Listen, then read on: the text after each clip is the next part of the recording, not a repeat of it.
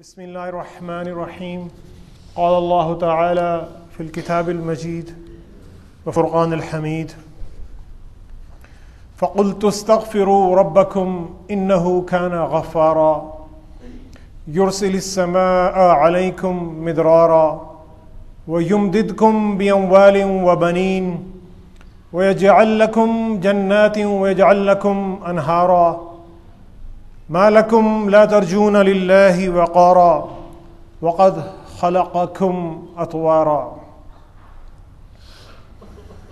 हजरात सूर नूह उनतीसवें पारे में सूर नूह की आयात ग्यारह से आगे की मैंने आपके सामने तिलावत की हैं ये आयात तो दर हकीकत हज़रत नूह आसमाम की वो दास्तान है, वो सरगुजश्त है, जो वो अपने रब के हजूर पेश कर रहे थे। और 900 साल से भी ज़्यादा का अरसा वो अपनी कौम को अल्लाह के रास्ते की तरफ़ बुलाते रहे, अल्लाह की दावत की तरफ़ बुलाते रहे और तबलीग करने के बाद उनकी कौम ने जब उनकी बात मानने से इनकार कर दिया तो नूह अलैहिस्सलाम रंज और गम से भरे हुए थे। और उन्होंने अल्लाह के हजूर अपनी अर्ज़ पेश की। इन आयात का हमारे हाल के साथ क्या ताल्लुक बनता है? इन आयात का हमारे हाल और जो मौजूदा ज़माना है, उसके साथ ताल्लुक ये बनता है कि इन आयात में नूह ने अपनी कौम को दुनिया में कामयाब होने, कामरान होने और इज़्ज़तदार होने और मालदार होने और ताकतवर होने का उन्होंने एक रास्ता उनको बताया। और ये रास्ता वही है कि जो अल्लाह ताला ने तमाम अम्बिया अलैहिस्सलाम के ज़रिए जितनी भी उम्मतें गुजरी, हज़रत आदम अलैहिस्सलाम हज़रत नूह अलैहिस्सलाम हज़रत मूसा अलैहिस्सलाम हज़रत ईसा अलैहिस्सलाम और हज़रत मोहम्मद सल्लल्लाहु अलैहि वसल्लम के वसीले से तमाम उम्मतों तक यही जो पैगाम था, वही पहुँचता रहा, यही अल्लाह ताला की सुन्नत थी। जो पहुँचती रही। और अल्लाह ने कहा है कि क़यामत तक मेरी यही सुन्नत रहेगी। सुन्नत अल्लाह फ़िल्लजीन खलो मिन कबल, वलन तजिद लसन्नत तब्दीला। अल्लाह ताला का जो तरीक़ा, अल्लाह ताला की जो सुन्नत तुमसे जो पहले कौमें गुजर गई हैं, उनके बारे में भी यही थी। और तुम क़्यामत तक अल्लाह ताला की सुन्नत और जो अल्लाह ताला का तरीक़ा है, उसमें कोई भी तब्दीली नहीं देखोगे। और नूह अलैहिस्सलाम यहाँ पर फरमाते हैं, काल रब्बी इन्नी दाऊ तो कौमी लईल नहारा। ए मेरे रब, मैं अपनी इस कौम को आपकी दावत देता रहा, दिन को भी देता रहा और रात को भी देता रहा। शब रोज़ मैं उसी काम में मसरूफ़ रहा। फलम यजिद हम दुआई फिरारा। लेकिन मेरी इस दावत ने उनकी नफ़रत में और उनके फरार में और इजाफा कर दिया। यानी मैं जितना उनको अल्लाह के रास्ते की तरफ़ बुलाता रहा, वो उतना ही अल्लाह के रास्ते से दूर होते चले गए। वन्नी कुल्लमा दाऊत हम लितफ़िर लहम जालू असाब आहम फ़ी आज़ानहिम और मैंने जब भी उन्हें अल्लाह के रास्ते की तरफ़ बुलाया और इसलिए बुलाया कि अल्लाह जो है, उन्हें माफ़ कर दें, उनके कसूरों को माफ़ कर दें तो उन्होंने अपने कानों में अपनी उंगलियाँ दे ली। और अपने जो मुँह थे, उन्होंने कपड़ों से ढांकना शुरू कर दिया और मुँह फेर दिया। वह असर्रु वस्तक पर उस्तकबार और वो जो अपनी रविश थी, उस पर वो डटे रहे, उस पर वो अड़े रहे और वस्तक बरस्तकबारा और उन्होंने बहुत ही ज़्यादा तकबर किया।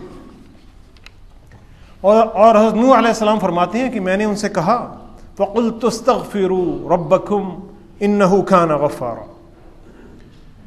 मैंने उनसे कहा कि तुम अपने रब से माफ़ी मांगो, अपने रब की इस्तफार करो, और वो बहुत ही ज़्यादा माफ़ करने वाले हैं। और अगर वो तुम्हें माफ़ कर देंगे तो वो तुम्हारे साथ क्या सलूक करेंगे?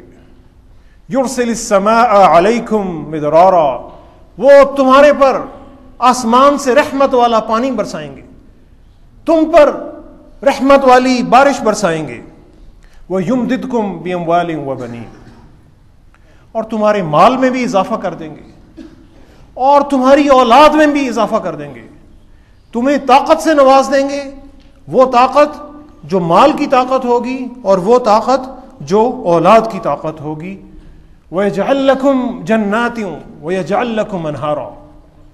और तुम्हारे लिए जन्नत, यानी बाग जो है, वो बना देंगे। और उन बागों के नीचे नहरें बह रही होंगी। और तुम्हारे लिए वो दुनिया में सारा आसानी का और आरइश का जो सामान है, वो मुहैया कर देंगे। और तुम्हारे लिए ऐसे बागात होंगे कि जिनमें नहरें बह रही होंगी। लेकिन तुम्हें क्या हो गया है? मालकुम ला तर्जून वक़ारा।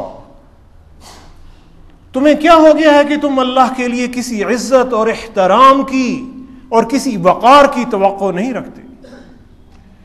तुम जो दुनिया में बड़े बड़े मालदार लोग हैं बड़े बड़े जो सेठ लोग हैं बड़े बड़े जो जागीरदार हैं बड़े बड़े कारखानादार हैं, और जो बड़े अमीर और जो बड़े वज़ीर हैं, उनसे तो तुम बहुत सारे वक़ार की तो रखते हो, और तुम अल्लाह से किसी भी वक़ार की तो नहीं रखते।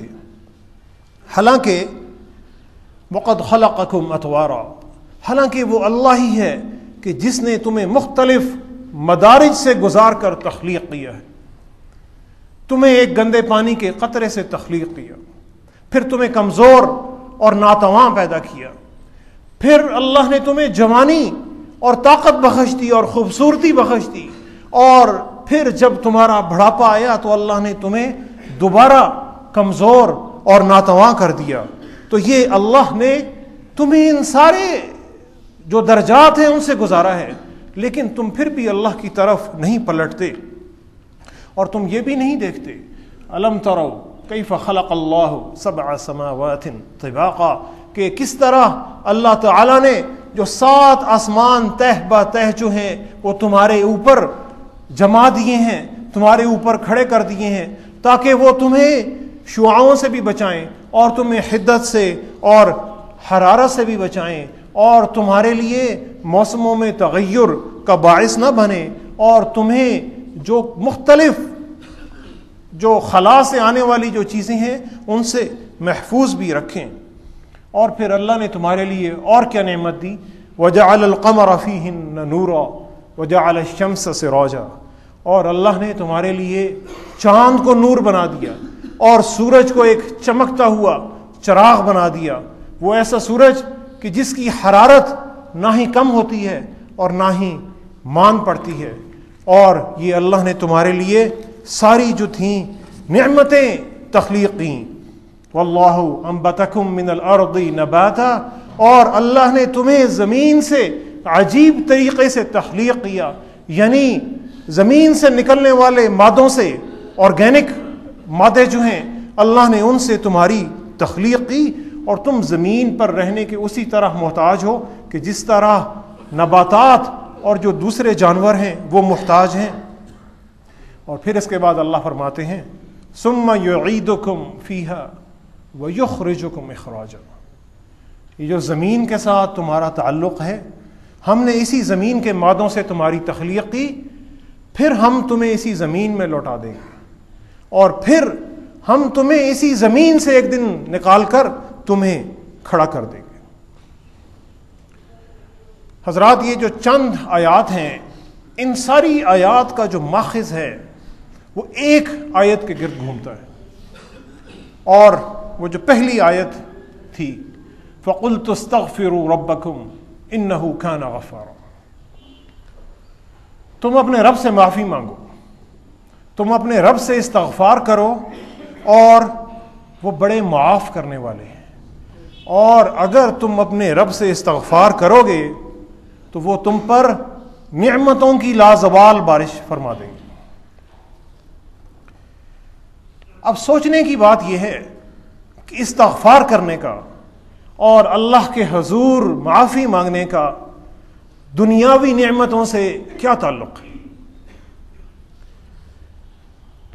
हम इससे अगर पिछली आयात में चले जाएँ तो नूह सलाम ने यह भी फरमाया कि मैंने जब इस कौम को दावत दी और तबलीग दी वह असर्रु वस्तकबर इस्तकबारा तो ये अपनी रविश पर अड़े रहे और इन्होंने बहुत ज़्यादा तकबर किया, बहुत ज़्यादा गरूर किया। बड़े घुमंड में मुबतला रहे। हजरात इस्तफार क्या चीज़ है? इस्तफार तकबर की नफी है। इस्तफार गरूर की नफी है और इस्तफार घुमंड करने की नफी है। अल्लाह से अपने गुनाहों की मुआफ़ी मांगना दर हकीकत तकबर की नफी है। तकबर इंसान की अकल पर पर्दा डाल देता है। तकबर इंसान के सोचने और समझने की और जो तख्लीक करने की सलाहियत है, उसको मफलूज कर देता है। और तकबर ही इंसान को तबाही की तरफ़ ले जाता है। दुनिया में जितने बड़े बड़े भी फिरौन गुजरे हैं जितने बड़े बड़े भी डिक्टेटर और जालिम और जाबिर किस्म के हुक्मरान गुजरे हैं,